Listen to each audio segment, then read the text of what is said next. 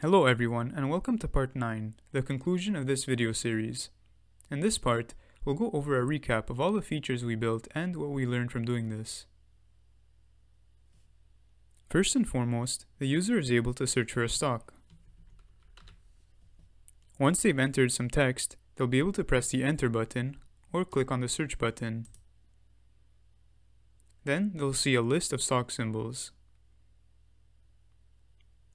Once a user clicks on a stock, all the data will be updated.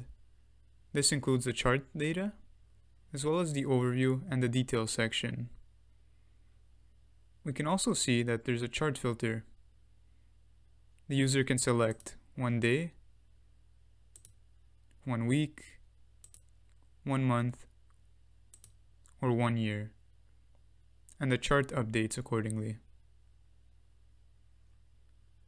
We also built a theme selector so the user can choose between light or dark colors. Lastly, we've also implemented some CSS transitions. For example, when we hover, there's a fade effect.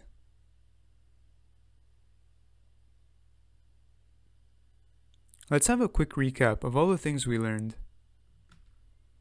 First and foremost, we learned React hooks, including useState and useEffect. We also learned how to style components with Tailwind CSS.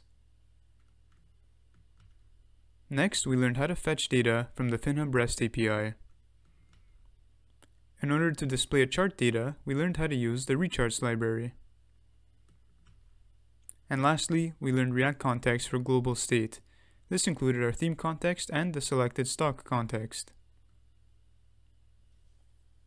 If you enjoyed any of the content in this video series, I would really appreciate a like and subscribe.